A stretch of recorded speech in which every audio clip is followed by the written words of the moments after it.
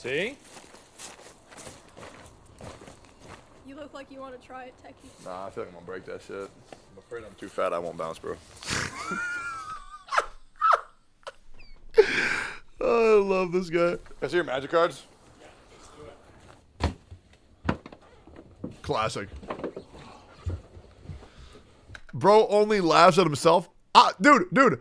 If I've said this once, I've said it a thousand times. I don't tell a joke for other people. I tell it for me. Because do you know who I think is fucking hilarious? That's pretty much all there is to it, guys.